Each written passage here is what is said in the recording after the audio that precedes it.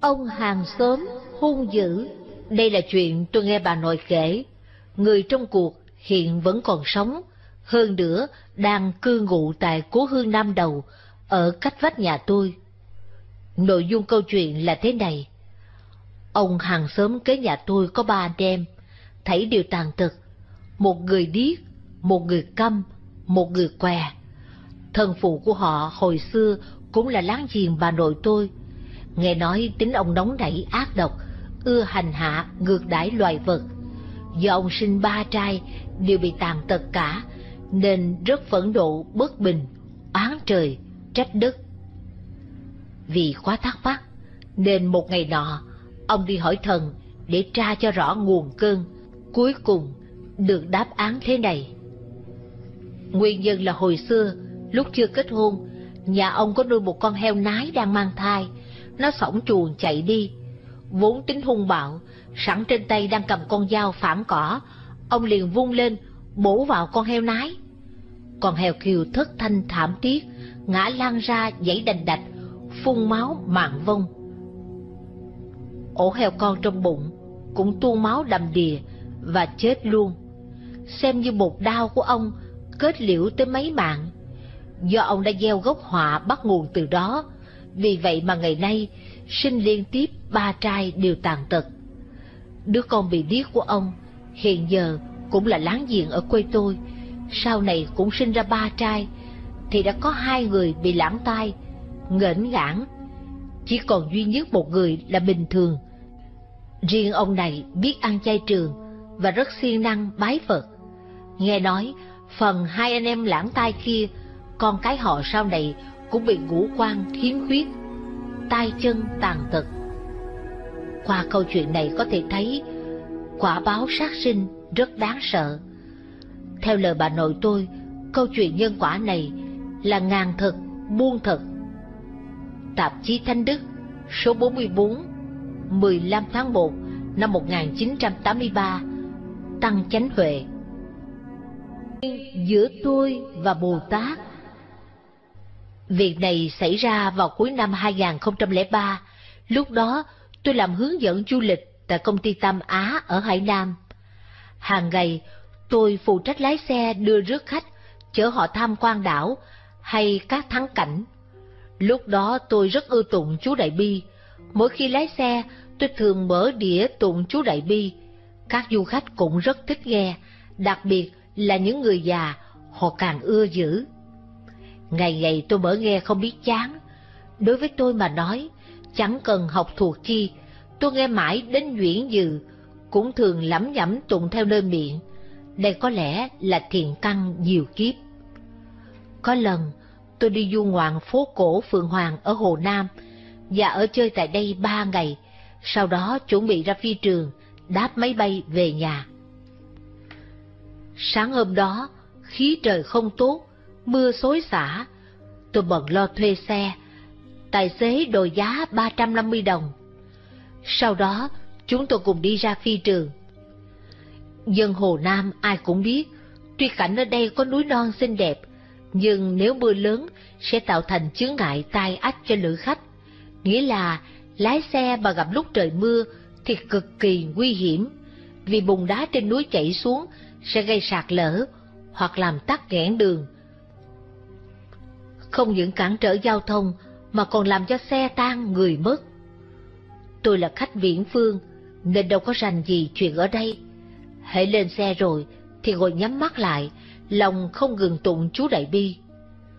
Tôi rất ưa tụng chú, không có bất kỳ mục đích chi, cũng chẳng để cầu chi, chỉ tụng theo thói quen, thấy rảnh là tụng vậy thôi. Cũng chẳng hề biết là tụng chú sẽ đem đến cho tôi điều gì hay hơn. Tóm lại, mang tâm tư hoan hỷ, tôi cứ tụng chú Đại Bi không ngừng. Cũng có thể nói là có lẽ chú Đại Bi đem đến cho tôi cảm giác bình an, khoái lạc. Thế thôi. Từ phố cổ Phượng Hoàng đến phi trường đi mất 3 tiếng. Khi xe rời Phượng Hoàng được 40 phút, thì xảy ra chuyện. Do đất cát trên núi bị mưa lớn tạo thành dòng chảy mạnh mẽ, khiến đất đá rơi ào ạt xuống, còn nhắm thẳng vào xe chúng tôi công phá, khiến mặt trước và sau của xe đều mớp nát. Kính xe bị vỡ, xe hư hại nghiêm trọng, nhưng may mắn là tôi và tài xế bình an. Lúc đó trong lòng tôi hoàn toàn không có chút sợ hãi, còn nghĩ thầm, hôm nay số mình thật hơn, gặp đại nạn hiểm ác mà thoát khỏi, không bị mạng vong. Vài năm sau, nhờ nghiên cứu Phật Pháp mà tôi hiểu rõ, té ra không phải số tôi may, gặp đại nạn được thoát chết, mà chính nhờ Bồ Tát Quan Âm đã âm thầm gia hộ.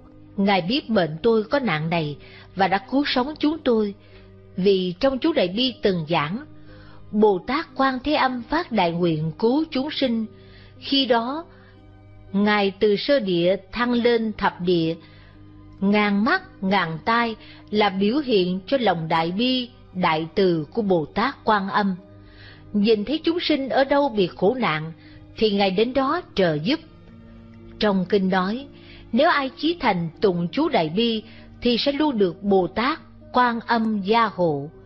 Điều này là ngàn chân buông thật, tuyệt đối chẳng nên hoài nghi. Có lẽ bạn không tin và cho đó là tình cờ mà tôi được bình an. Vậy thì tôi xin kể một chuyện nữa để chứng minh là Bồ Tát có ngó đến tôi. Chuyện mới xảy ra gần đây. Con gái tôi thì lên cao trung. Tuy thành tích học tập thuộc loại trung bình, nhưng nó rất chăm học và có chí.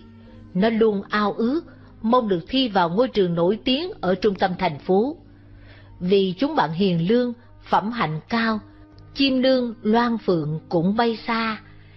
Nếu gặp môi trường hoàn cảnh tốt thì việc học tập và phẩm hạnh sẽ được thăng hoa. Trước lúc thi, con gái tôi hướng giáo sư chủ nhiệm trình bày chí nguyện và điền tên ngôi trường nó muốn thi vào là Trung học chuyên khoa Thượng Hải. Đây là một ngôi trường nổi danh, tiêu chuẩn tuyển sinh rất cao, rất khó thi vào. Giáo sư vừa xem qua đã trợn mắt kinh ngạc. Ông dòm nó từ đầu tới chân, rồi bảo. Chắc trò bị điên rồi. Thành tích học tập bình thường như trò, không có vào nổi trường này đâu. Vì vậy, ông thẳng thừng từ chối. Nhưng con gái tôi không chịu thua. Nó lại điền tên một trường khác, cũng ở trung tâm thành phố, nhưng tiêu chuẩn chiêu sinh cực kỳ khắc khe và khó hơn ngôi trường trước đó nữa. Trường này hoàn cảnh học tập cực kỳ thượng đẳng, quy tụ nhiều giáo sư giỏi, phẩm hạnh tư cách rất cao. Đã có rất nhiều danh dân xuất sinh từ trường này, nhiều gia tộc tiếng tâm lẫy lừng cũng cho con theo học trường này. Giáo sư chủ nhiệm thấy nó ghi như vậy, thì nghĩ là bệnh điên của nó đã hết thuốc chữa, bèn phán. Thôi được, cho trò tội nguyện. Dù sao ta dám khẳng định là trò chẳng thi vào đây nổi đâu. Nhưng thôi, cứ cho trò mơ mộng hảo quyền một chút vậy. Có tôi không cũng ráng mà chịu nghe. Con tôi về nhà, lòng rất không vui. Nó ức ức khóc kể với tôi. Ba ơi, giáo sư chủ nhiệm khinh thường con.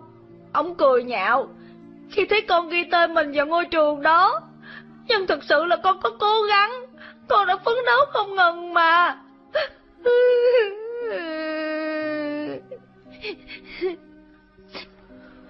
Tôi vỗ về, an ủi nó. Con gái cưng à, cổ nhân thường nói, có chí thì nên. Con có hoài bão cao, thì chịu khó siêng năng học tập. Ờ, bà nghĩ nhất định sẽ được như ý nguyện mà. Đây gọi là đạo trời buộc đắp cho người có lòng. Bà hứa sẽ hỗ trợ vì con làm nhiều việc thiện, rộng tích âm đức để hồi hướng phúc lành đến cho con. Suốt thời gian con bé thi, tôi giữ đúng lời hứa. Thường ngày, cứ hai giờ sáng là tôi thức dậy tụng kinh niệm Phật. Nhưng mấy ngày này, tôi phải vì con bé cung kính tụng kinh Kim Cang, nguyện đem công đức này đặc biệt hồi hướng cho nó. Bởi kinh Kim Cang là khai mở đài trí huệ. Tôi hy vọng con gái mình sẽ tiêu trừ ác nghiệp, tăng trưởng phúc huệ, được Phật gia hộ. Vào khóa tụng tối, tôi chỉ thành tụng chú Đại Bi, nhất tâm nhất ý cầu Bồ Tát Quan Thế Âm gia trì cho con bé, khiến nó được toại nguyện. Một tuần trước khi có kết quả thi, tôi nằm mơ thấy Bồ Tát Quan Âm báo mộng, nếu con tôi thi được 597 điểm. Sáng ra, tôi lập tức báo tin mừng này cho vợ và con hay. Bọn họ chẳng ai chịu tin. Con gái tôi còn nói. Lần này thi đậu hay không, con chẳng dám nghĩ tới nữa. Vì môn văn con làm không đạt lắm. Có thể điềm mộng này là trái ngược với thực tế đó ba. Bảy ngày sau, con tôi lên mạng kiểm tra điểm thi, trong lòng cực kỳ lo sợ, tim nó đập như trống trận, có thể dùng câu đạm chiến tâm kinh, diễn tả nỗi hồi hộp giống như ra pháp trường để mà hình dung. Nhưng nó đã thấy rõ trên màn hình vi tính điểm số mình hiện ra rất cao, môn ngữ văn dư hơn 15 điểm. Tôi bảo, Con mau lấy bản tính ra, cộng hết lại thử coi sau một hồi cộng tính, đúng y chang, 597 điểm, không thừa, không thiếu.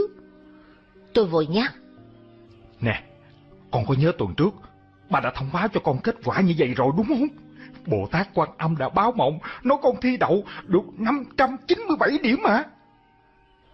Lúc này, hai mẹ con cùng ngay người một lúc, sau đó thì mừng vui cực điểm, cả nhà vui đến không thể có gì diễn tả được. Bởi nguyện vọng thi vào trường cao cấp ở trung tâm thành phố của con bé đã đạt thành. Con gái tôi mừng đến nỗi không thành lời, nó cứ ấp a ấp úng. Ba, ba, ba ơi! Tôi bảo, Con, con mau đến lễ tạ Bồ Tát Quan Thế Âm đi. cả nhà chúng tôi vội vàng đi thắp hương lễ bái. Tôi lễ ngài trăm lại, bày tỏ lòng tri ân vô cùng. Bản thân tôi hàng ngày niệm Phật 15 tiếng đồng hồ. Khóa tối thì đọc văn phát nguyện của chú Đại Bi, sau đó tụng năm biến chú Đại Bi, rồi niệm A Di Đà Phật. Tiếp theo là niệm Quan Thế Âm Bồ Tát. Trên đời này không có may mắn nào vô duyên vô cớ. Con người ta gặp lúc quan trọng, nếu không nhờ phúc đức mình gia hộ cho, thì chỉ có nương vào quý dân tương trợ. Tôi là một phàm phu nhiều tội lỗi, nghiệp chướng sâu nặng, phúc mỏng huệ bạc. Nếu không có Bồ Tát quan thế âm cứu, thì mạng tôi sớm đã đi đời, trôi lăn trong ác đạo thọ khổ. Hiển nhiên có thể thấy, quý nhân của tôi chính là Bồ Tát quan thế âm. Đây cũng thực sự chứng minh uy thần oai lực không thể nghĩ lường, ngàn xứ cầu, ngàn xứ ứng, tùy từ độ khắp chúng sanh trong điển khổ của Bồ Tát. Tôi đem kinh nghiệm có thật của mình chia sẻ là mong các pháp lữ đối với Bồ Tát Quan Thế Âm tăng thêm lòng tin, gặp thời điểm quan trọng, nguy cấp, hãy chí thành, khẩn cầu Ngài gia trì cho, phải tin sâu không nghi, dốc lòng niệm danh Ngài để dẹp trừ tạp niệm, vọng tưởng, giúp tâm trong lặng thành một phiến, không nên có tạp niệm loạn cuồng. Trong Kinh Đại Bi có giảng, nếu người phát nguyện hàng ngày tụng khoảng năm biến chú Đại Bi có thể giúp tiêu trừ trăm ngàn vạn ức kiếp sinh tử tội nặng. Lúc lâm chung, tùy duyên vãng sinh, thậm chí có thể đến Tây Phương cực lạc thế giới. Nếu lời nguyện này không viên mãn, Ngài tuyệt chẳng thành Phật. Nếu người phát nguyện hàng ngày tụng khoảng năm biến chú Đại Bi, lúc lâm chung mà đọa vào ba nẻo ác, Ngài vĩnh viễn chẳng thành Phật. Bồ Tát Quan Thế Âm thực ra sớm đã thành Phật, hiệu là chính Pháp Binh Như Lai, lời Ngài hoàn toàn chân thực, không dối.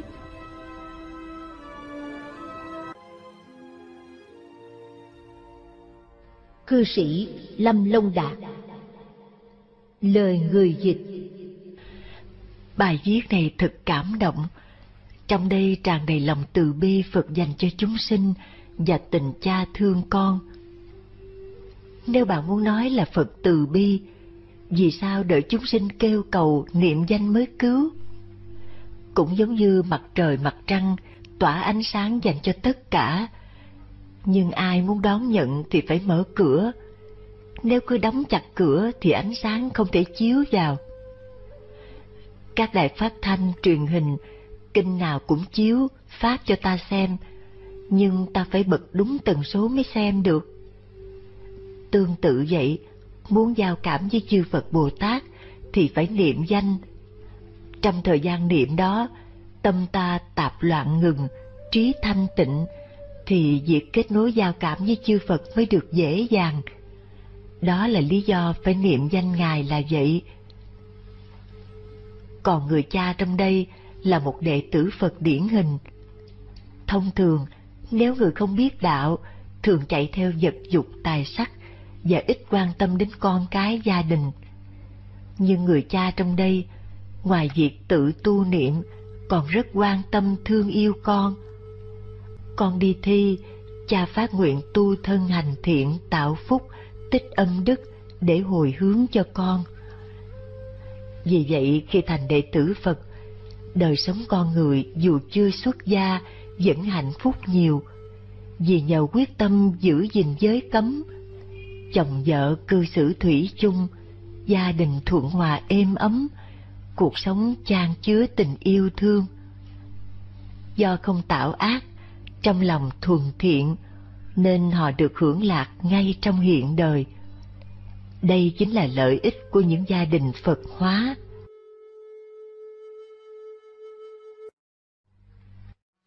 Sáu chuyện nhân quả Gần đây có một vị họ trương, nhà trụ tại thôn Hồ Khấu, huyện Tân Trúc, đã viết thư tới, kể rất nhiều câu chuyện nhân quả do chính ông đích thực chứng kiến hoặc nghe thuật lại. Ông khẳng định những chuyện này hoàn toàn có thật, là người thực, việc thực, có bằng chứng hẳn hoi, xin công bố ra để thế dân cùng cảnh giác. Hy vọng thông qua đây mọi người sẽ học được nhiều điều hay, càng tin sâu nhân quả để không làm các điều ác, vâng làm các điều lành, nhờ đó mà phong khí xã hội được cải thiện. Giờ xin kể ra từng chuyện theo thứ tự như sau. một Ác báo của tôi Trước khi tôi biết đến Phật Pháp, tính rất tàn nhẫn, đối với loài vật không có lòng từ bi, không biết thương xót hay cảm thông chi. Hơn 20 năm trước, cả nhà tôi công tác tại xưởng giày, có ông giáo X dạy về kỹ thuật, rất ưa ăn thịt chó. Lần nọ, ông X ra ngoài mua về một con chó, ngỏ ý muốn tôi đem nó đi giết. Lúc đó tôi không có chút do dự. Dùng chùy sắt, đập mạnh vào đầu của nó. Con chó kêu rú thảm thiết. Tôi vẫn không chút động tâm. Tiếp tục nền tới tấp, cho đến khi đầu vỡ máu tuôn. Cho hết dãy dụa thì tôi mới dừng tay. Còn nữa, nếu như tình cờ gặp con rắn nào, thì tôi nghĩ đủ trăm phương nghìn kế để bắt cho bằng được. Rồi dùng đá đập nát đầu rắn. Trước khi chết, con rắn không ngừng dãy dụa, lăn lộn thống khổ. Tôi cứ tỉnh bơ, nhìn như không thấy gì. Lòng chẳng có chút xót thương, chẳng chút ấy nấy, vì hành động bất nhân tàn độc của mình. Sau này tôi liên tiếp vướng nhiều chứng bệnh khổ. Bảy năm trước, tôi công tác tại đội làm đường đỏ, thì một chiếc xe đang thi công, đột ngột, lui bánh. Tôi không đề phòng, nên bị tông đến chấn thương não, phải nhập viện điều trị, rất lâu mới hồi phục. Sau đó, chứng đau bao tử bộc phát. Tôi đi khắp các bệnh viện lớn nhỏ để chữa trị, uống đủ thuốc đông lẫn tay, nhưng vô hiệu. Cuối cùng, bất đắc dĩ, tôi phải áp dụng theo một số toa thuốc dân gian chỉ bày. Do phương thuốc này cần thịt nhiều loại chúng sinh như chó, bèo, rắn, rùa, rết, gà, vịt, vân vân, phối hợp để chưng, nấu, hầm, nướng, nó mới có tác dụng. Kết quả, tôi hại chết thêm nhiều sinh linh nữa. Nhưng trải qua trường kỳ dùng đủ thứ thuốc, bệnh của tôi không những chẳng giảm mà ngày càng nặng thêm. Sau đó, tôi đi các bệnh viện lớn khám. Bác sĩ nói, nếu không bổ ngay thì khó cứu được mạng. Vì vậy, phải phẫu thuật. Bao tử tôi bị cắt bỏ hơn 2 phần 3, ruột cũng bị cắt bớt một khúc. Đủ thấy tình huống lúc đó cực kỳ nghiêm trọng. Năm ngoái, lúc tôi làm việc tại công xưởng, sơ ý bị máy dập làm ngón tay bị thương nát bấy, chảy máu không ngừng, đau thấu tim gan. Tôi kêu la thảm thiết, suýt chút nữa thì ngớt đi. Khi nhìn thấy tay nát máu chảy, ngón tay rung lẩy bẩy không kềm được. Bớt giác, tôi nhớ lại hồi xưa, mình từng đập rắn, giết chó, máu nhuộm đỏ cả khoảng sân. Nhưng đó, tôi bắt đầu tự hỏi, tôi suốt mười mấy năm nay không ngừng bị các bệnh quái ác hành hạ, còn gặp đủ tai nạn thương tật, vậy có phải đều là quả báo do ngày xưa sát sinh chăng?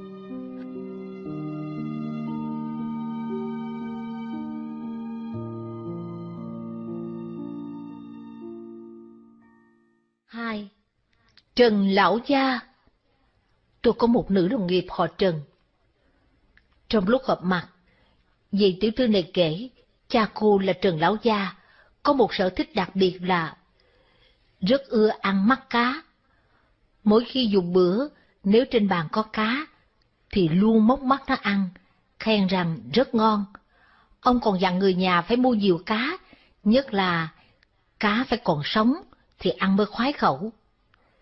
Sau này phụ thân cô bỗng dưng bị viêm một con mắt, bệnh phát và chuyển nặng nghiêm trọng. Nhiều bác sĩ danh tiếng đều bó tay không chữa được. Sau đó, mắt của cha cô mù hẳn, bác sĩ bèn lấy nó ra, thay vào một nhãn cầu giả. Năm sau, con mắt còn lại của cha cô cũng bị bệnh, không bao lâu thì mất thị lực. Hiện giờ, ông phải sống qua chuỗi ngày không nhìn thấy ánh sáng ba Ác báo của anh em họ Trần Tôi có một bạn học họ Trần, anh là quân dân. Mỗi lần nghỉ phép về nhà, anh và em trai thường đi câu cá, lên núi săn bắt các động vật, hoặc bắn chim, xem đây là thú tiêu khiển. Sau này, nhà anh liên tục phát sinh rủi ro. Đầu tiên là em trai anh. Trong lúc xây dựng công trình, sơ ý bị té từ giàn giáo lầu hai xuống. Vì là nơi xây dựng, nên phía dưới sắt thép nằm bừa bãi ngổn ngang. Em trai của anh bị sắt đâm thủng bụng, làm ruột bị thương nặng, không lâu thì tử vong. Tiếp đến là bản thân anh Trần, bệnh hoạn, hành thê thảm, đau đớn thống thiết. Chưa hết, chỉ vì chút việc vặt mà cãi gây cùng với vợ một trận dữ dội, đến phải ly hôn. Một gia đình trước đây hạnh phúc bỉ mãn, giờ thành ly tán, khiến người không khỏi thở dài.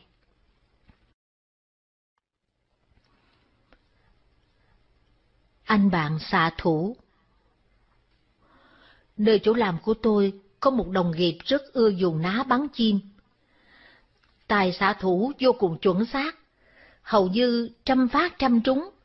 Hệ bắn ra là trúng ngay chỗ hiểm, làm chim bị thương nơi phần đầu. Anh mà ra tay thì không con nào thoát khỏi.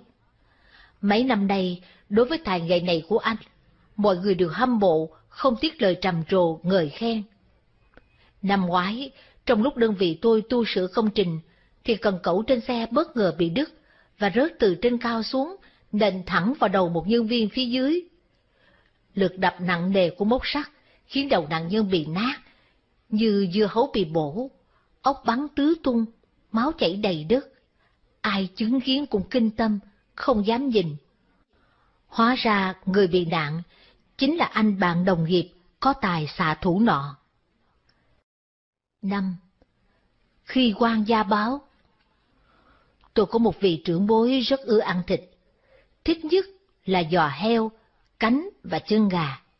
Không những ngày ăn ba bữa tiệc liên tục, mà mỗi khi đối ẩm thưởng thức, cùng với năm ba bạn nhậu, phải luôn có các món trên, có thể nói là ông ứ ăn thịt cực kỳ, không biết chán.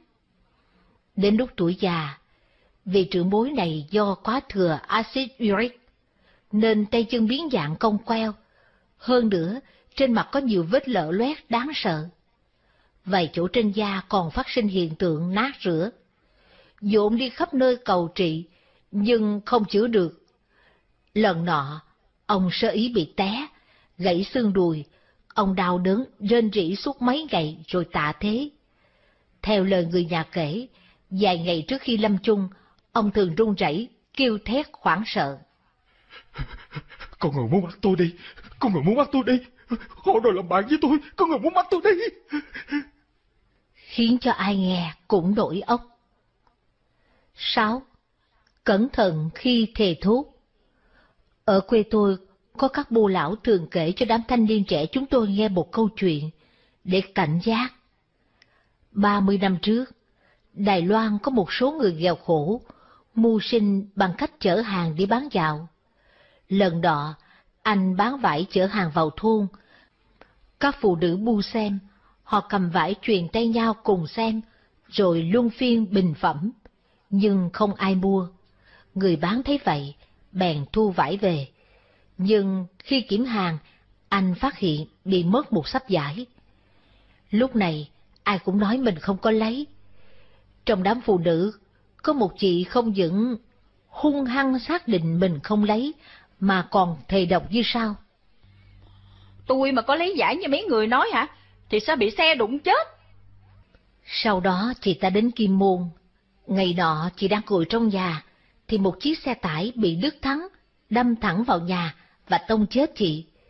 Khi tin này truyền ra, mọi người ai cũng bàn tán xôn xao, cho đây là nhân quả báo ứng, đáng sợ vô cùng. Câu chuyện khiến tôi rơi lệ. Mùa thu năm đó tôi 12 tuổi. Đây là khoảng thời gian thê thảm nhất của gia đình tôi. Phụ thân tôi bệnh nặng phải phẫu thuật, mất khả năng lao động. Anh hai tôi thi rớt đại học, còn mẹ tôi thì dùng làm nông dược, khiến cho 10 mẫu lúa đang bị trổ, thất thu hết. Cũng vào thời điểm đó, tôi bị bệnh thiếu máu nghiêm trọng, thở thôi thớp, cần truyền máu gấp. Trong nhà tôi lúc này nợ nần ngập đầu, mẫu thân bóp tráng suy nghĩ, tìm đủ cách cũng không biết kiếm đâu ra tiền để cho tôi truyền máu. Đang lúc cả nhà lo lắng vì bệnh tình nguy cập của tôi, thì bà láng giềng họ Lý bước qua, nghiêm trang bảo mẹ tôi. Thiếp tư à, mau ra phía sau mà xem, heo nhà bà đẻ rồi kìa. Mẫu thân được nhắc như sực tỉnh, rồi chạy nhanh ra chuồng heo phía sau. Thấy heo mẹ đang le lưỡi liếm sạch máu dính trên bình heo con, mẹ tôi bật khóc. Bà mừng và cảm kích vì heo mẹ sinh lứa con này, xem như cứu nguy kịp lúc cho gia đình. Bà bèn trồng cái giao tiền gần chuồng heo, tỏ ý tri ân cảm tạ. Khi mẹ tôi giúp heo sinh con xong, thấy heo nái mệt lã, đến sùi bọt mép, nó không ngừng thở lấy hơi. Mẫu thân biết nó tuổi đã cao, cũng đã làm giàu cho nhà tôi gần 9 năm rồi. Lứa heo này có đến 16 trụ. Mẫu thân thấy heo mẹ mệt, vội sai anh tôi đem sữa đậu nành đến cho nó uống. Heo mẹ cảm kích, ve vẫy hai tay. Mẹ nhìn lứa heo hồng hào mập mạp, bảo anh tôi. Lần này tốt rồi, xem như thần Sơn được cứu. Nhưng nước xa không cứu được lửa gần, heo con phải nuôi dưỡng ít nhất ba tháng mới có thể bán, mà bệnh tôi thì ngày một nặng. Ngay lúc heo con sinh ra được 10 ngày, thì tôi phát bệnh nặng đến không thể xuống giường. Trong tình cảnh đó, mẹ tôi lòng nóng như lửa đốt, cứ đi tới đi lui mãi trong nhà. Cuối cùng, bà thở dài bảo anh tôi. Tuyền ơi, con vào trong xóm mời Dương Độ Tể tới, mình đem heo nái bán lấy tiền trị bệnh cho thằng Sơn. Anh tôi nghe mẹ nói, buồn bã đứng chết chân, sau đó mới khuyên can. Mẹ ơi, heo mẹ đang còn sống và heo con rất cần bú sữa. Bệnh em Sơn dù quan trọng nhưng heo mẹ cũng rất cần được sống mà mẹ. Nhưng cuối cùng, anh tôi mắt đầy lệ, đành đuổi thủi đi vào trong xóm, tìm vương đồ thể. Mẹ tôi gấp rút dừng bếp, bắt một nồi lớn cạnh chuồng heo, lo nhóm lửa nấu nước. Khi vương đồ thể tới, ông đến gần chuồng heo xăm soi quan sát, rồi thở dài, bảo mẹ tôi. Thiên tự à, coi như tôi giúp bà làm phước. Thật ra, dù có giết con heo mẹ này, thì cũng chẳng có được bao nhiêu thịt đâu. Nước đã sôi sùng sục. Mẹ tôi mở chuồng heo. Heo nái như đoán biết được, nên mặc cho mẹ tôi cầm ca sữa gọi nhữ đến mấy. Nó vẫn đứng chết trân trong chuồng, không chịu ra. Hết nhìn mẫu thân. Nó lại nhìn anh tôi. Sau đó, nó không ngừng dùng lưỡi liếm các con nó đang chơi giỡn đuổi nhau trong chuồng. Đột nhiên, nó ngã lăn ra, rồi cất tiếng ột ột, phát tín hiệu gọi bú sữa. Các heo con vừa nghe, tranh nhau chạy tới, nằm dàn ngang quanh bụng mẹ và bú trùng trục. Mẹ tôi thở dài, bảo Dương đồ tể. Thôi thì ông hãy đợi vậy, để cho con nó bú sữa lần cuối nha. Dương đồ tể gật đầu. Heo con bú sữa no nê, liền tản ra chơi đùa, nhưng heo mẹ vẫn không ngừng cất tiếng kêu, gọi con tới bú sữa. Mãi đến khi con heo cuối cùng rời vú mẹ, thì lúc này heo mẹ mới ngóc dậy, từ từ đi ra ngoài. Khi heo mẹ ra khỏi chuồng rồi, nó lại quay đầu nhìn đàn con với vẻ bình rịnh lưu luyến.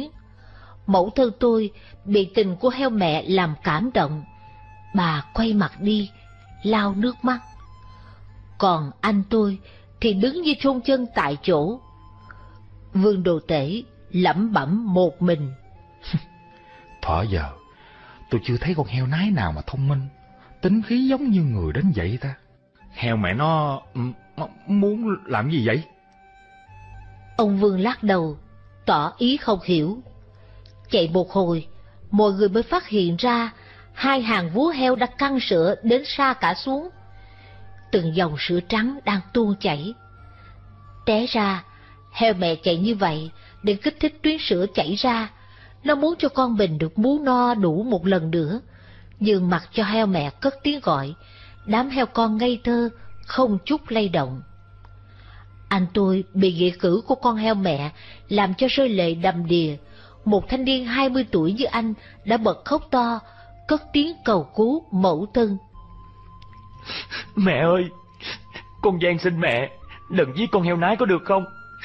Bệnh của em Sơn, hãy để con nghĩ cách nha. Vương đồ tể lẳng lặng, ôm đồ ghề bỏ đi. Mẹ tôi nước mắt đầm đìa, gật gật đầu. Lúc này, heo mẹ chẳng để chủ tốn sức gọi mình. Nó bước từng bước đi ra khỏi chuồng heo. Sau đó, tôi giờ truyền máu mà được cứu, đó là do anh tôi hiến máu cho tôi. Sau này, heo mẹ lại sinh cho nhà chúng tôi bảy tám đứa heo nữa. Trong lần sinh cuối cùng, heo mẹ bị sản nạn chết. Cả nhà im lặng chảy nước mắt.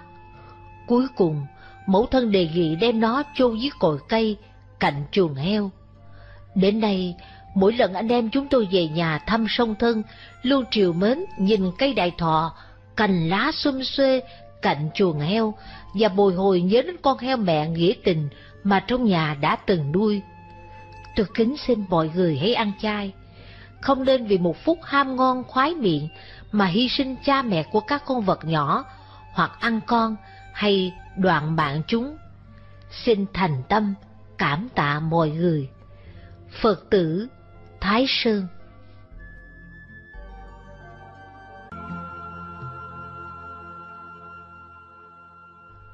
Chú út của bạn tôi Bạn bè đều biết tôi tin Phật Do chơi thân nên hãy có thắc mắc gì về Phật giáo Đều hỏi tôi hoặc kể cho tôi nghe các việc xảy ra trong gia đình họ Hôm nay tôi xin thuật một chuyện trong số các câu chuyện của bạn tôi hy vọng quý vị đọc xong sẽ tăng thêm vô hạn tính tâm tốt lành. Việc này xảy ra lúc tôi lên đại học.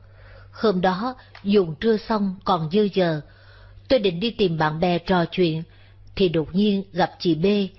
Chị vỗ vào vai tôi, hỏi. Nghe nói bạn đọc Phật hả? Phải. Thế là chị B hứng thú, hỏi tôi mấy điều về Phật Pháp. Lúc đó tôi rất bất ngờ và cao hứng, Bất ngờ là vì chị B và tôi vốn không quen thân, quan hệ sinh viên trong trường chỉ ở mức ăn cơm với nhau vài lần. B biết tôi tin Phật, chỉ biểu lộ sự tôn trọng thôi. Còn cao hứng là vì B không phải tín đồ Phật giáo, mà giờ đây lại tỏ vẻ thích thú muốn tìm hiểu. Khi đó, tôi hỏi B. Vì sao muốn tìm hiểu Phật giáo vậy? Không còn cho đây là mê tín phong kiến nữa hả? Thế là chị B kể cho tôi nghe câu chuyện có thực xảy ra cho chú của mình. Chú út của B là một người sống rất đạo đức, tính tình cao thượng, phẩm hạnh hiền lương. Ông nghiêm trì ngũ giới, tinh tấn tu. bao năm như một ngày là một người được các bạn đạo hết mực tôn kính. Hồi trẻ chú ra nước ngoài làm việc, Hoàng Thiên chẳng phụ lòng người tốt. Cuối cùng chú thành công, có sự nghiệp vẻ vang. Khi chú Út trở nên giàu sang rồi, thì liền bảo lãnh song thân và chờ con ra nước ngoài sinh sống. Chưa bao giờ chú ý bình giàu mà xem thường bà con nghèo. Chú luôn luôn cư xử với mọi người hòa nhã, thân thiện, khiêm cung. Nhưng mà, một Phật tử thiện lương như chú đột nhiên bị bệnh ung bướu, mà lại là thời kỳ cuối nữa chứ. Việc này giống như là bơm nổ trong nhà, khiến người thân của chú đều chấn động, không ai muốn tin. Một người tốt như chú là bị ác báo như thế à? Thậm chí có người bắt đầu hoài nghi Phật Pháp, trách ông trời không có mắt, vì sao thì dân không được thiện báo. Nhưng chú út của B vẫn thản nhiên, vì hiểu tất cả đều là nhân quả, nghiệp chướng đời trước. Ngay lúc bác sĩ tuyên bố bệnh của chú không còn chữa được nữa, chẳng những chú rất bình tĩnh mà còn an ủi thân dân bạn bè. Tuy là chú không nỡ bỏ mặt cha mẹ, vợ con, nhưng một khi vô thường đến, mấy ai có thể trốn thoát được. Chú tu trì thời khóa bền bỉ, mấy mươi năm như một ngày, trọn bề hành thiện tích đức, vậy mà bây giờ lại gặp phải ác báo này. Ai cũng trách trời già bất công, nhưng chú thì không hề khởi tâm oán trách chi, còn nghĩ rằng cho dù mình có sắp chết thì cũng phải tận dụng thời gian còn lại mà sống cho tốt, nghĩa là cư xử với mọi người nghĩa tình hơn, ráng làm thiện thêm cho nhiều, rồi sau đó thì nhất tâm niệm Phật cầu vãng sinh. Bỗng một việc đặc biệt bất khả tư nghị phát sinh. Ngay lúc bê kể, tôi nghe mà còn không dám tin, nhưng đây là chuyện có thật đã xảy ra. Hôm nọ, chú Út cùng gia đình đi siêu thị mua đồ.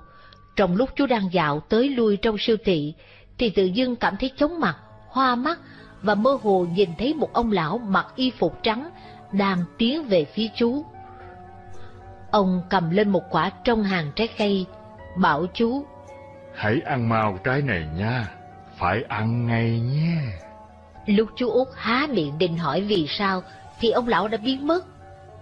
Lập tức, thần trí của chú tỉnh lại. Ngạc nhiên hơn là thấy trái quả kia đang nằm trong tay mình. Chú út nhìn quanh, kiếm tìm, và vội hỏi người thân.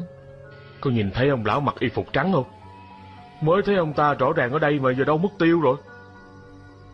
Cả nhà đều nhìn chú ngạc nhiên, cùng đáp là không thấy ai cả, chỉ thấy chú cầm trái cây trên tay và tự lẩm bẩm một mình mà thôi. Sự việc này quả rất khó hiểu. Chú không nói chi nữa, vội chạy ra cổng siêu thị mua loại trái cây này đem về nhà ăn. Lúc đó chú cũng không nghĩ ngợi gì nhiều. Nào ngờ, chứng ung bú thời kỳ cuối mà bệnh viện tuyên bố hết chữa được.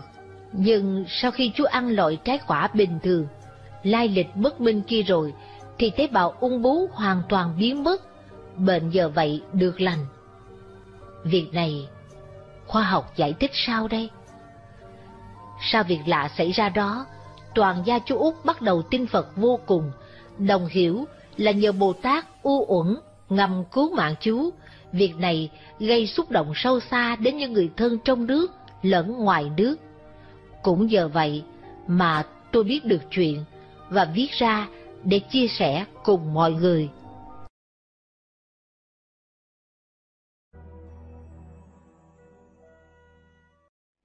Chuyện kể của cảnh sát Pháp Y Tôi là một cảnh sát y khoa tư pháp, người ta thường gọi là Pháp Y.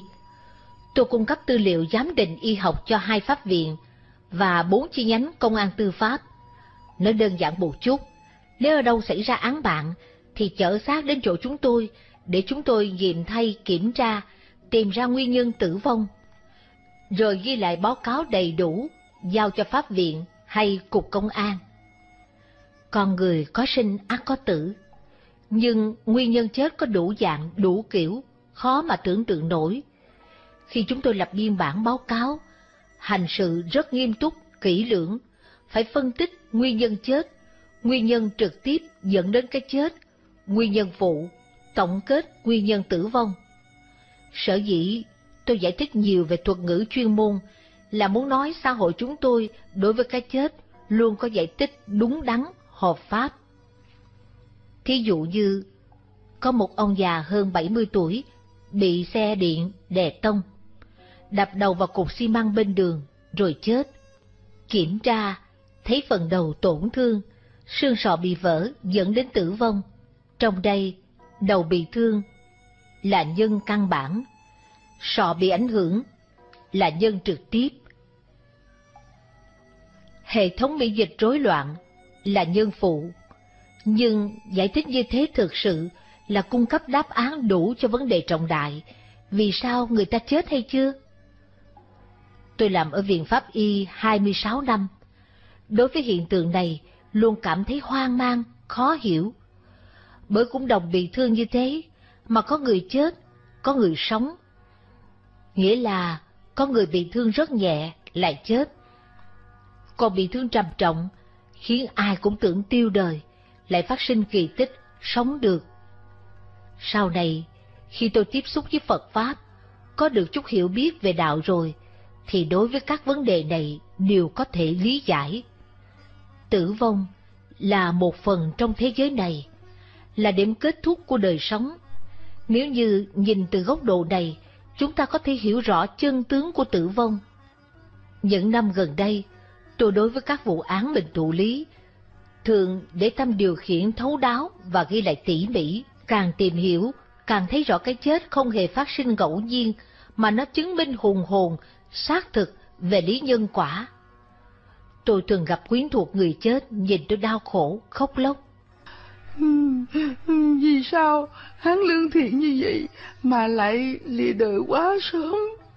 Vì sao cái ông kia làm nhiều việc xấu quá mà hưởng thọ lâu vậy? Vì sao một người suốt đời cẩn thận hay gặp tai ba dạ gió vì sao người đi đường đến đoạn sơ ý, dù có bị xe tông, lại chẳng hề hấn gì? Tôi nghĩ sở dĩ có những quan trách này đều là do họ chẳng minh bạch nhân quả. Trước tiên xin kể vụ án làm cho tôi nhức ốc, ưu tư khốn đúng. Chính vụ án này đã đẩy tôi đến với Phật môn. Tuy án không phức tạp, nhưng do thời gian điều tra kéo dài, nên tôi tương đối nhập tâm. Vụ án Cặp vợ chồng chết thảm năm 2002. Một chàng trai 28 tuổi, nửa khuya ra tay giết hại hai đấng sinh thành hơn 60 tuổi của mình. Cặp vợ chồng già này đang say ngủ, thì bị con trói gô ở trên giường.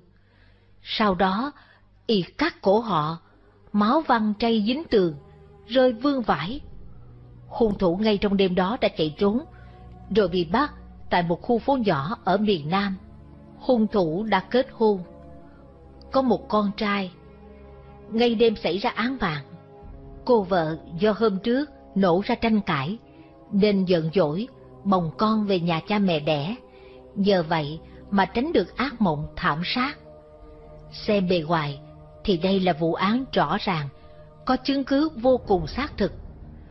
Việc kiểm sát đã lấy khẩu cung toàn bộ chứng cứ hoàn chỉnh, có đủ vật chứng, nhân chứng, tất nhiên phải nghiêm trừng, mau chóng phán quyết.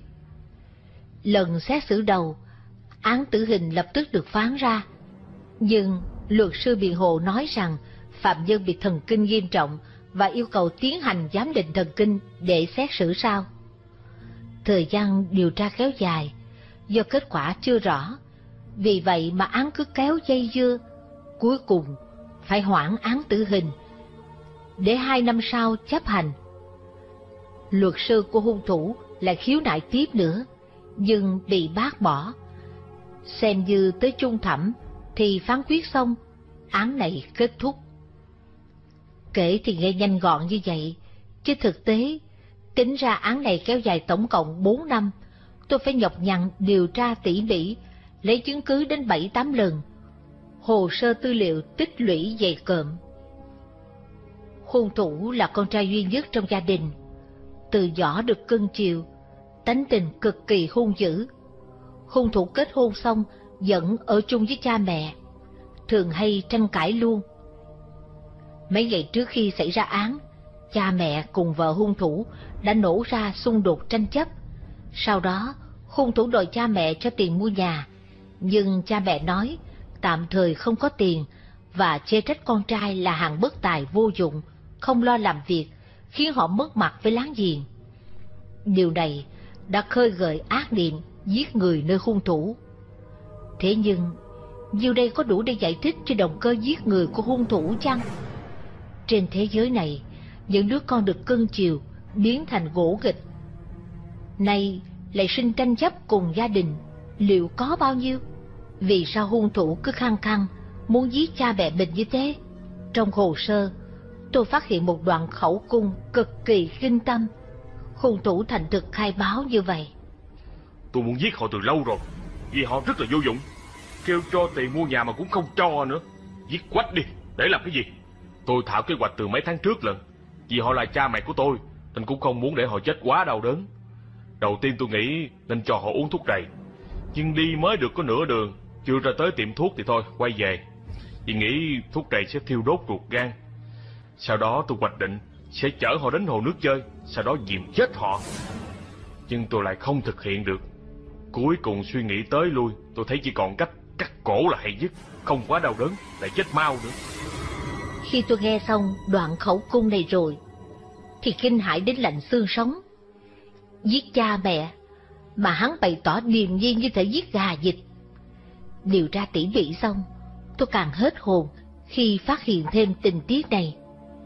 Cặp vợ chồng nạn nhân có mở một lò giết gà, họ làm ăn buôn bán trên thị trường rất phát. Lúc đầu ra chợ điều tra, do chủ hàng gà bị giết, người ta cho là cửa hàng này bị xui, làm ăn không mai, nên ai cũng bỏ đi không thèm thuê. Căn cứ theo những người ở bên cạnh thuật lại, thì hai vợ chồng nạn nhân khi hành nghề thường đem gà sống trói lại hết, treo lên dây thép. Sau đó, họ kẹp chặt đầu gà, dùng dao cắt cổ nó. Máu gà cũng không bỏ phí, bán rất được tiền.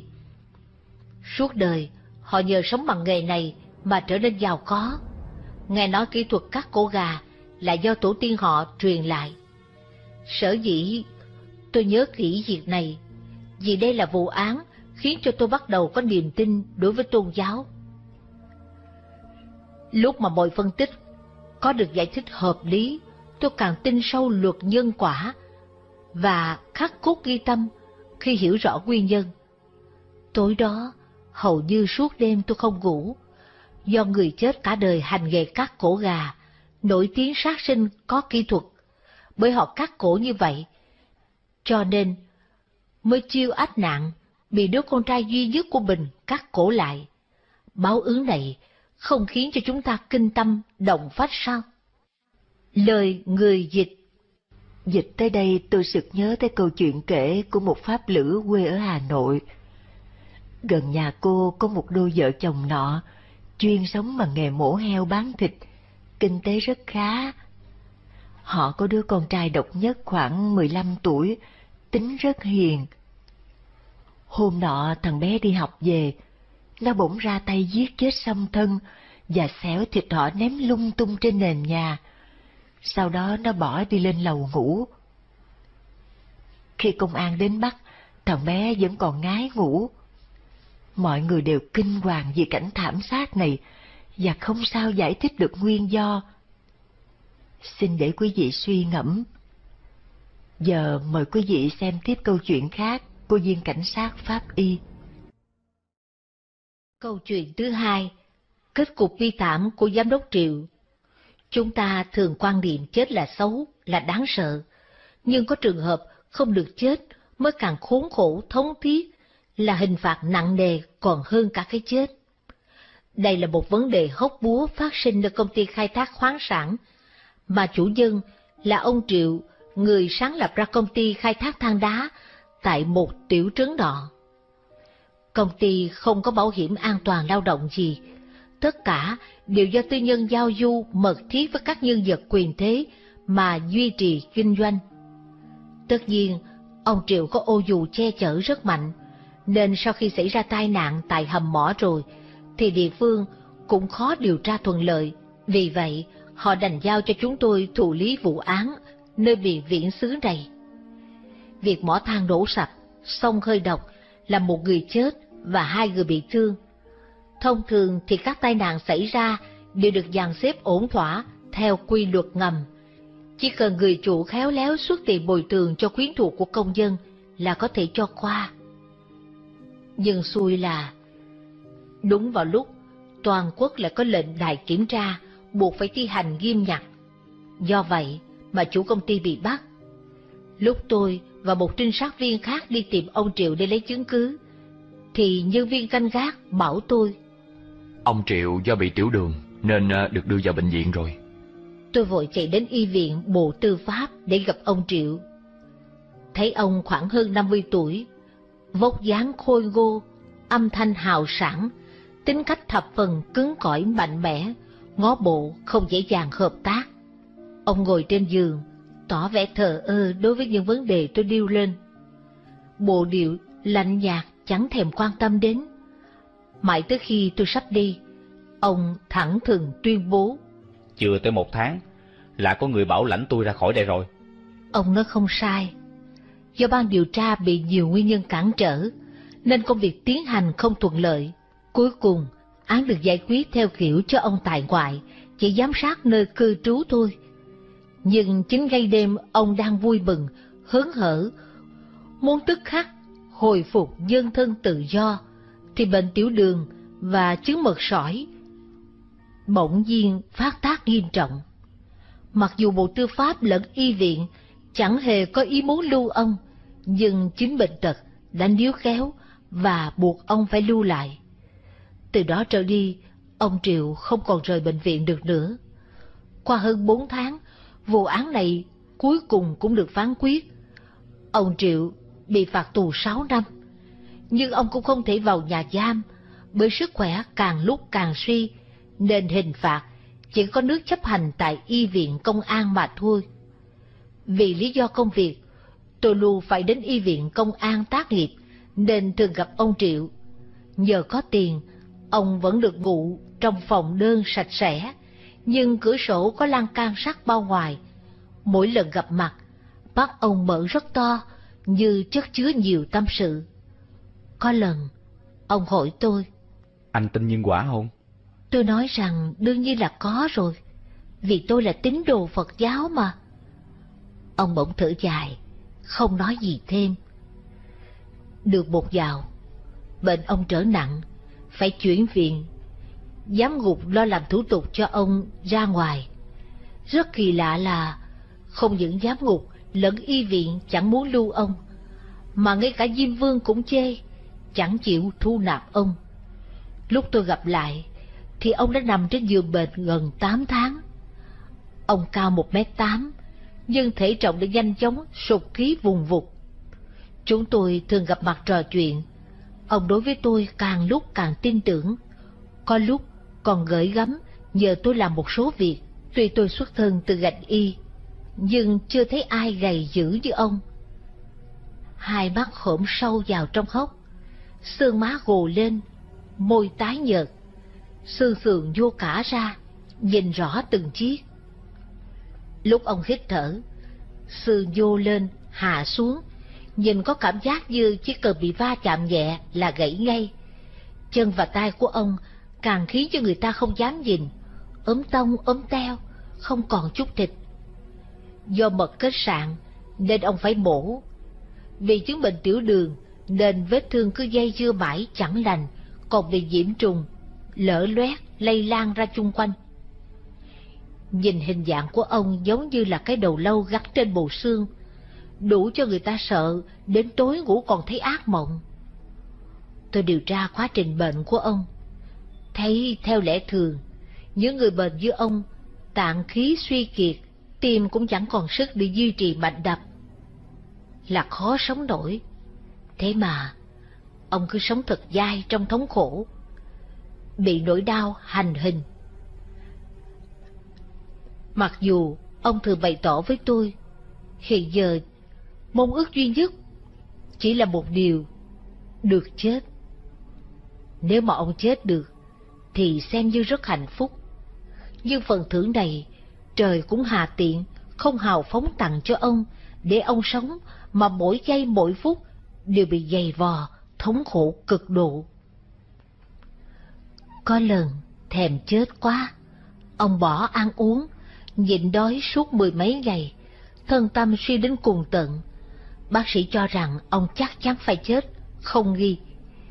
Nhưng ông vẫn cứ sống, không thể nào chết được. Bẵng đi một thời gian dài, tôi bận công tác bù đầu, nên không đến gặp ông. Thế là một hôm, ông giờ hồ lý gọi điện mời tôi đến. Tối hôm ấy, ông thu hết sức tàn, kể cho tôi nghe một câu chuyện bí mật của Bình, bằng âm thanh yếu ớt. Hơn hai mươi năm trước, lúc ông vừa bắt đầu khai thác quặng mỏ, do không đủ tiền nên phải giờ gửi đi tới ga xe lửa, gạt những kẻ sống lang thang khờ khạo, không rành pháp luật, thuê họ xuống hầm làm việc cho ông. Giờ vậy, ông không phải trả lương gì cả, chỉ cần thuê mấy tên bảo vệ trong chừng đám công dân này, thế là đủ. Khi họ tích lũy cho ông thùng vàng đầu tiên rồi, để che giấu sự thật, ông cho lắp giếng thang đó lại, bỏ mặt đám dân công, bị nhốt, đuối mệt, đói khát, trong cảnh tối tăm. Cuối cùng, họ đều chết ngạt. Việc ông kể về sau được chứng thực, khi công an đến chỗ đó khai quật, đã mang lên được hai mươi mấy bộ xương. Tiếp đến, ông Triệu nằm ở y viện gần nửa năm. Sáu tháng này, cơ hồ mỗi phút mỗi giây, ông đều trải qua nguy ách cực điểm. Nhưng, bất kể xác thân bị hành hạ, dày vò đau đớn như thế nào, ông vẫn không chết. Toàn bộ gia sản của ông đều đổ hết vào phí y viện. Người nhà cuối cùng cũng chẳng thèm đến thăm ông nữa. Mặc dù nguy ách cao độ, ngày đêm ông đau đớn kêu rên không ngừng. Âm thanh nghe xé lòng. Do hệ miễn dịch thiếu nghiêm trọng, vết thương trên thân chỗ nào cũng không lành, thảy đều bị nhiễm trùng, lở loét rách rửa. Đến cuối cùng, trên mình của ông không còn tìm ra chỗ nào lành lặn, toàn thân lỡ loét, lầy lụa. Sau đó tôi không gặp lại ông, nghe những y tá chăm sóc ông kể, sau khi ông chết rồi, lúc họ dùng tấm ra bọc thay ông chuyển đi, thì xương cốt gãy vụn, da thịt bị nát rửa ung bủ, hóa thành một đống bầy dày. Trước khi bỏ thay ông vào nhà xác, thì hầu như nó đã biến thành đống xương thịt mục rửa. Tiếp là một vụ án hết sức ly kỳ, phát sinh vào mùa đông năm ngoái. Câu chuyện này mang tên Người có miệng lưỡi độc. Nửa đêm, tôi nhận được lệnh của cấp trên. Phải tức tốc tới hiện trường làm việc ngay. Số là nơi ngoại thành có một cây cầu lớn. Nghe dân chúng báo cáo có người treo cổ chết nơi cây cầu này. Lúc chúng tôi đến hiện trường, thấy kẻ tự sát là phụ nữ. Qua khám nghiệm, có thể thấy quyết tâm tự sát của đương sự rất cao. Sợi dây thắt chặt tới xương cổ bị gãy. Điều tra về nhân thân lý địch thì biết người chết cư trú gần đây. Chuyện chưa phải là hết, vì còn một cảnh tượng đáng sợ đang chờ chúng tôi. Khi tới nhà đương sự, chúng tôi giật mình vì nhìn thấy thi thể trần truồng của đứa bé chưa đầy một tuổi trên giường. Lúc cảnh sát ập đến, cha đứa nhỏ vẫn chưa biết vợ mình đã tự sát. Anh còn khóc lóc trên rỉ. Hướng tới cảnh sát, trách vợ um sùm và kể hết mọi việc. Té ra sự tình không có gì phức tạp. Ông chồng ra ngoài nhậu nhẹt cùng đám bạn. Cô vợ ở nhà một mình chăm con. Sau khi ông chồng quay về, cô vợ khóc lóc gây ầm lên, cứ nhất quyết khẳng định là ông ra ngoài ngoại tình, hẹn hò gian díu với cô X. Ông chồng nghe vậy, nổi tức lên, liền bỏ đi ra khỏi nhà, tìm bạn nhậu tiếp. Cô vợ ở nhà, càng nghĩ càng phẫn nộ, liền gửi cho chồng một tối hậu thư, đại ý như sau. Anh hãy về bà trong con, tôi không thể chăm sóc nó được nữa. Nhưng ông chồng đang nhậu say bí tỉ, đâu có tâm trí mà dòm ngó tới tin nhắn trong điện thoại. Mãi đến lúc ông về, thì phát hiện thằng bé con đã trồi đạp, khiến mền rớt ra và bị chết cống. Các nhà ở thôn quê vào mùa đông không có lò sưởi nên rất lạnh. Ông chồng đáng thương vẫn chưa biết vợ mình đã tự sát. Một mực hướng công an căm phẫn trách móc. Nói là lỗi tại vợ mình nên thằng bé mới chết cống. Cho đến khi nghe cảnh sát báo hung tin, vợ anh đã treo cổ chết rồi. Thì ông chồng không nói được lời nào, cả lăn ra ngất xỉu. Bởi chút gây cãi vùng vặt mà dẫn đến mất hai mạng người, hạnh phúc gia đình vì đây tan nát. Tôi chỉ biết thở dài. Qua khám nghiệm kỹ càng, án được chứng thực là tự sát, nên vụ việc nhanh chóng kết thúc. Nhưng trong quá trình điều tra, chúng tôi phát hiện thêm chi tiết nữa. Chính lão Lưu, chủ tiệm sửa xe trong thôn, mới là nguyên nhân gây ra thảm án này. Qua phỏng vấn hội thăm, chúng tôi được biết ông Lưu tuổi hơn 50 đã ly hôn nhiều năm, hiện đang sống một mình. Bình thường tính ông ưa đặt chuyện thiêu dệt, nói thị phi, không có duyên cớ gì, cũng đụng thành to chuyện được. Chính ông đã đâm thọc và đặt điều, nói với cô vợ là chồng cô đang ngoại tình. Hơn nữa, ông còn thêm thắt, miêu tả tỉ mỉ ly kỳ, giống như là có thật hẳn hoi. Khi chúng tôi hỏi về chuyện ngoại tình của người chồng mà ông riêu rao, mới biết đây chỉ là tin vịt mà thôi. Rất nhiều cư dân trong thôn phản ảnh, tố cáo, nói rằng ông Lưu rất ưa thiêu dệt, đặt chuyện thị phi, đã có nhiều gia đình vì tin lời ông mà xảy ra bất hòa, phu thê trở mặt, phụ tử ác cảm, thậm chí dẫn tới đánh lộn, gây gãi. Mỗi khi ông Lưu biết được vì mình mà thiên hạ xào xáo, thì tỏ ra rất hớn hở, khoái chí. Ông ra ngồi ở quán nhậu với vẻ dương dương tự đắc. Nhưng dẫu sao cũng không thể xử ông, vì không thể ghép hành vi này vào tội danh nào, mặc dù nó gieo ra thảm sự. Cô vợ vì làm tin lời hoang đường của ông mà chuốt phiền treo cổ. Nhưng không thể vì vậy mà ghép ông vào tội sát dân. Bởi thế chúng tôi chỉ nhắc nhở, cảnh cáo ông tôi. Bất ngờ là chưa đầy một tháng, cảnh sát vùng đó báo cho tôi hay, ông Lưu đã xảy ra chuyện. Vào một đêm nọ, ông Lưu đến nhà bạn bè nhậu say khướt. Sau khi được dìu về tìm sửa xe của mình rồi, nửa đêm ông bỏ ra ngoài tìm rượu uống. Ông sờ soạn và vớ được một cái bình. Đang mơ màng, ông tu liền một ngụm.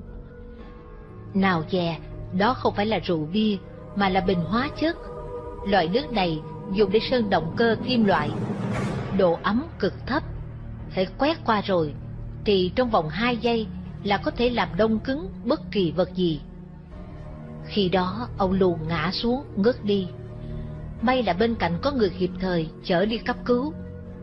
Lúc bác sĩ khám, phát hiện lưỡi của ông bị đông cứng như kết băng. Hóa chất này đã bị gắm, dù ít thì cũng xem như tiêu rồi. Bác sĩ tuyên bố rằng, từ nay chẳng những ông Lưu không nói được, mà kể cả vòm miệng cũng khó bảo toàn. Sau này, xem như ông chỉ có thể ăn uống bằng ống dẫn. Đó là vài câu chuyện về báo ứng mà tôi muốn chia sẻ cùng quý vị. Theo y học, bất kỳ cái chết nào cũng đều do bệnh tật hoặc tổn thương dẫn đến. Cho dù có chết trong phòng ngủ hay qua đời lúc đang say giấc nồng, cũng đều do có bệnh hoặc do những nguyên nhân khác. Tôi là đệ tử Phật, cũng là bác sĩ ngành y. Đối với quan điểm khoa học, tôi luôn tôn trọng. Nhưng tôi vẫn muốn nói rằng, tầm nhìn của khoa học luôn bị giới hạn. Mỗi người chúng ta tất nhiên đều sẽ chết, nhưng thời gian chết và cách chết có thống khổ hay không, quả thực có liên quan đến những gì chúng ta làm và luôn chịu ảnh hưởng của nhân quả. Nếu như tôi không biết Phật Pháp, khi tiến hành công tác điều tra, tôi cũng sẽ nghĩ đơn giản và kết luận, chết là do bị tổn thương, bệnh tật hay phạm tội bị hành quyết, vân vân. Nhưng suốt thời gian tiến hành kiểm tra nhiều vụ án mạng, sau khi phân tích tìm hiểu sâu xa rồi, tôi luôn phát hiện ra chân lý thiện hữu thiện báo, ác hữu ác báo, quả không sai chút nào. Phật Pháp nói, nghiệp lực chúng sinh không thể lường rất đúng. Có thể dùng câu này để giải thích vấn đề sinh tử trong cuộc sống ngày thường của chúng ta. Thu Dĩnh Ngày 9 tháng 7 năm 2013 Lời người dịch Chúng ta thấy rõ, lời nói có thể cứu người và có thể giết người. Ông Lưu sử dụng cái lưỡi của mình để dệt theo, đặt chuyện, lấy đây làm thú tiêu khiển. Không biết làm thế là gieo nhân đại ác, gây họa hại cho bao người trong thôn làng. Nếu cái lưỡi ông còn công năng, thì sẽ có thêm nhiều nạn nhân nữa. Do vậy mà, nguyên cái lưỡi và cả dòm miệng ông, bộ phận cơ quan nào có thể gây họa cho thế nhân, đều bị triệt. Hàng ngày xem báo đài, chúng ta thấy đăng tin những thiếu niên lêu lỏng, rủ nhau thừa lúc đêm khuya, lên đứng trên cầu vượt, cùng ném đá làm dở kiến các xe hơi, hoặc ném đá làm dở kính đèn tín hiệu ở các trạm hỏa xa, lấy đó làm thú vui tiêu khiển, mà không hề biết đây là những hành vi tự tàn phá phúc báo của mình. Có đôi tay mà không làm ích lợi cho người, lại dùng nó để gieo hại.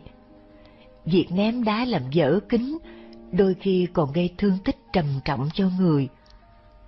Thêm nữa, chốt đèn hỏa xa mà hư thì không thể phát tín hiệu, dễ gây tai nạn giao thông thảm khốc cho khách qua đường. Vì vậy, chẳng những tự mình khiến phúc, lộc, quyền bị sạc, mà người tạo ác, ngoài việc sinh vào cõi không lành, còn có thể chiêu dời quả báo không tay. Bộ phận hay cơ quan nào làm những việc hữu ích cho người sẽ chiêu cảm quả báo tốt đẹp. Ngược lại, nếu chỉ toàn gieo rắc, đem đến hiểm nguy, thì sẽ bị loại. Tùy theo phúc báo của đương sự mà ác báo trổ mau hay chậm, chứ không phải là không có báo. Chỉ vì thiếu hiểu biết, chẳng được giảng dạy về nhân quả, do không am tường, nên người ta mới phạm tội. Vì vậy, điều cần thiết là giúp người hiểu rõ nhân quả. Khi đã minh bạch lý này, thì không cần có kẻ giám sát, người ta cũng tự động làm những điều có lợi cho mình và tha nhân, tự nguyện dứt ác hành thiện. Ác báo của vu khống thiêu dệt Một anh bạn của tôi thuở giờ hay tạo khẩu nghiệp xấu, ưa nói thiêu dệt, tung tin đồn thất thiệt. Điều này càng gây nguy hại hơn khi anh làm ở lĩnh vực truyền thông. Ngày nọ, đột nhiên, anh chạy đến xin lỗi tôi. Vì hai năm trước, đã viết bài tung lên nhằm gây tai tiếng, gieo hại cho tôi và khách hàng, tạo thành quấy nhiễu vô cùng khốn đốn, khiến bạn bè không dám hợp tác với chúng tôi.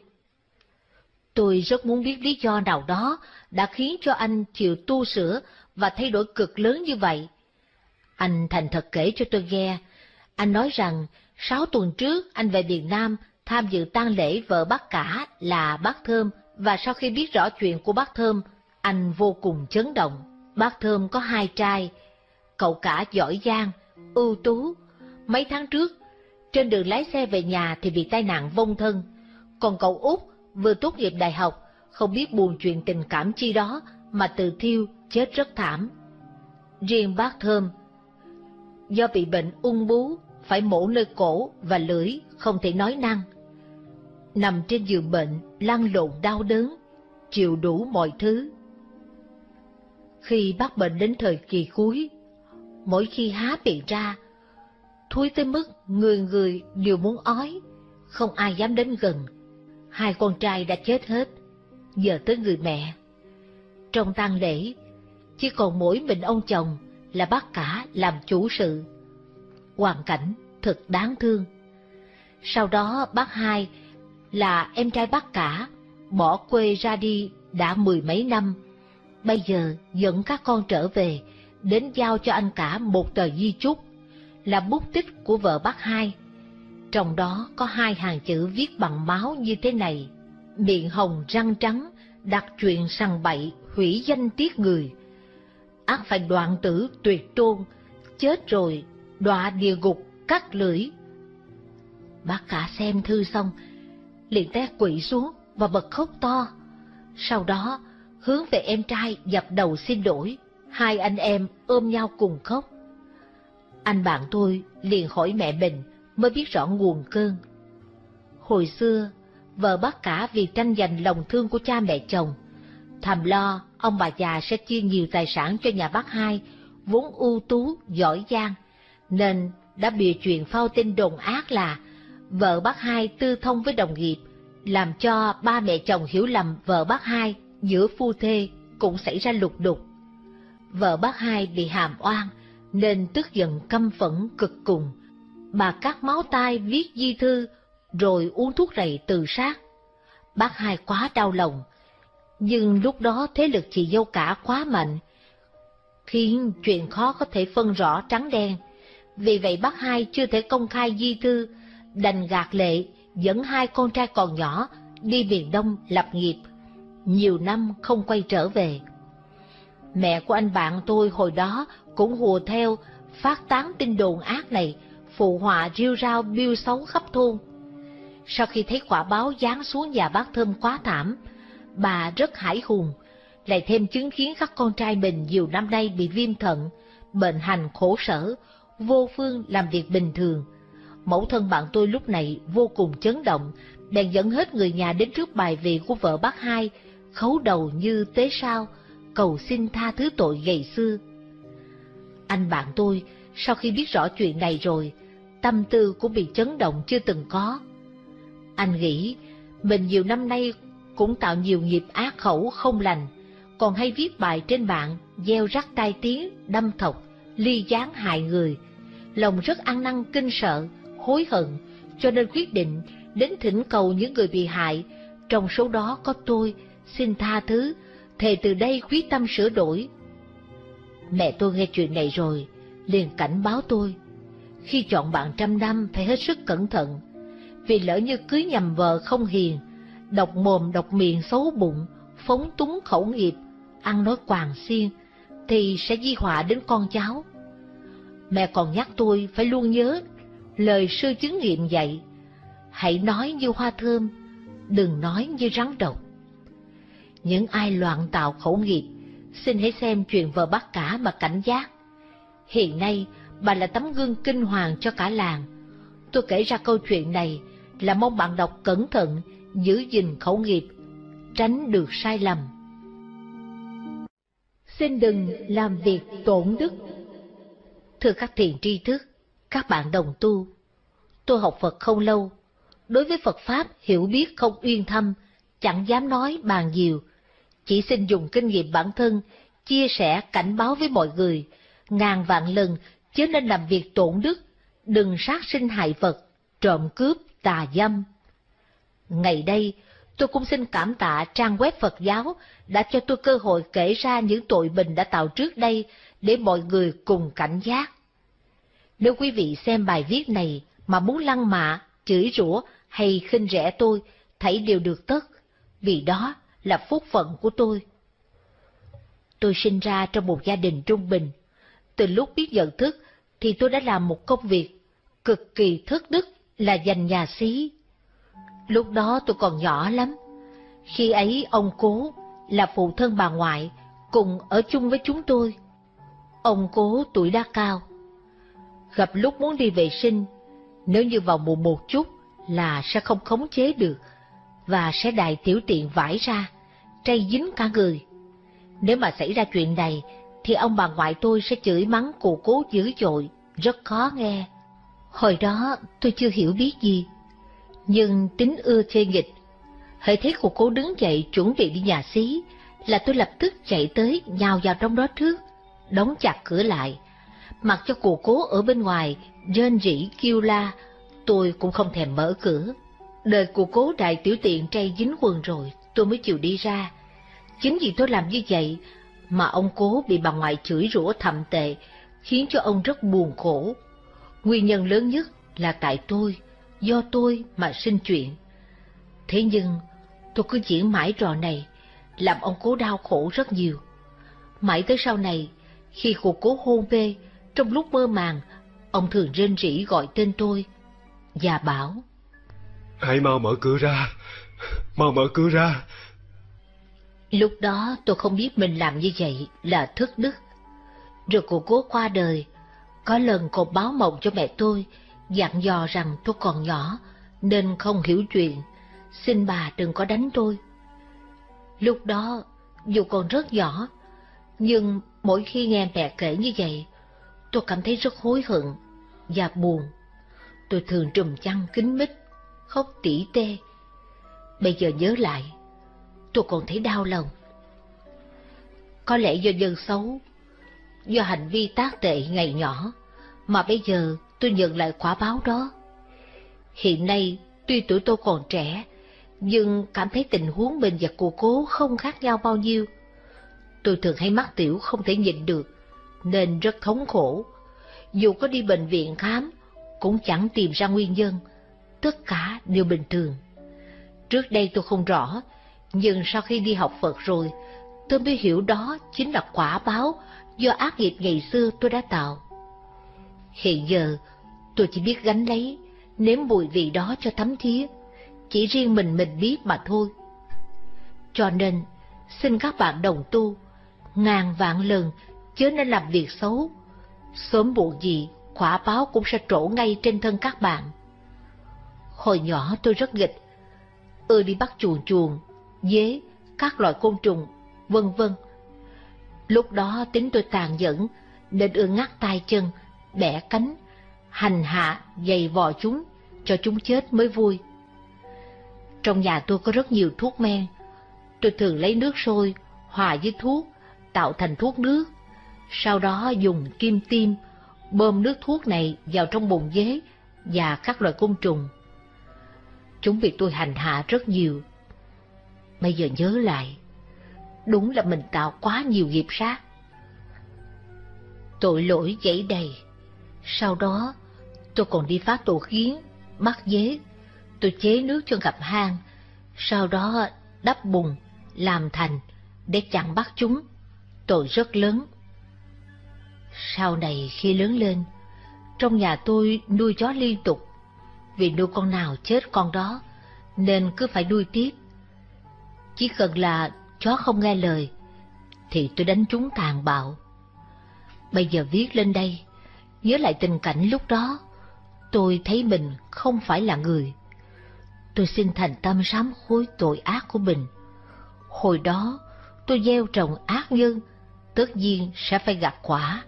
Vì vậy mà mấy năm trước, tôi bị bệnh nứt da.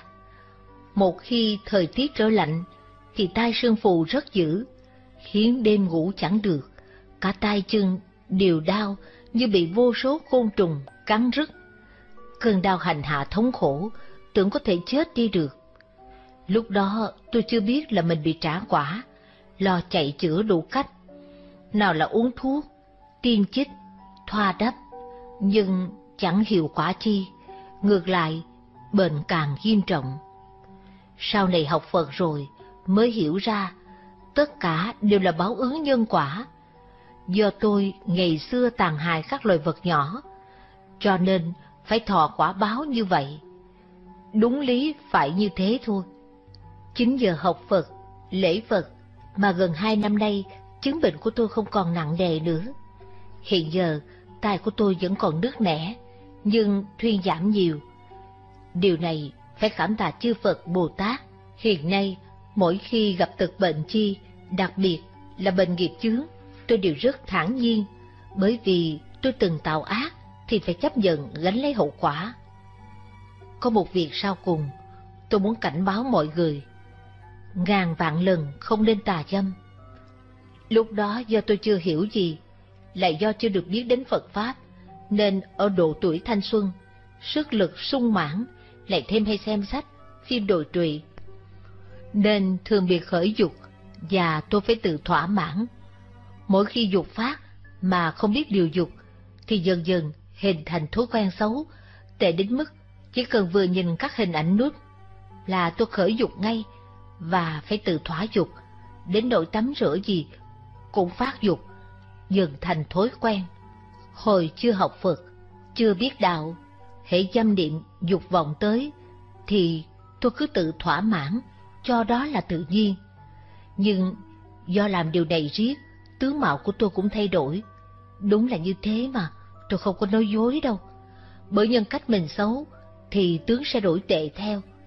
Xin bạn hãy tin tôi, nếu ai vướng phải thối xấu này, thì nên từ bỏ triệt để, sẽ rất có ích cho bản thân. Nguyên là tướng mạo của tôi vốn rất oai phong, hình dung thanh tú, nhưng do tôi thường hay từ thỏa dục, nên tướng mạo cũng bị thay đổi, biến thành cực kỳ thô tục, sức khỏe cũng kém. Vì tinh lao lực tổn, cộng thêm lỗi lúc nhỏ đã phạm với cụ cố, khiến quả báo tôi lãnh càng thêm nặng, tiểu tiện khó, khổ đủ mọi bề. Sau khi học Phật rồi, tôi mới hiểu và nhận ra đây là những hành vi bất hảo, nên một bề thề nguyện từ bỏ. Nhưng mà, dâm niệm một khi khởi, nó mạnh cuồn cuộn, rất khó chịu. Nhưng từ thỏa mãn, rồi lại thấy có tội, còn khổ hơn. Mãi đến vài tháng trước, tôi mới hoàn toàn chiến thắng và làm chủ được mình.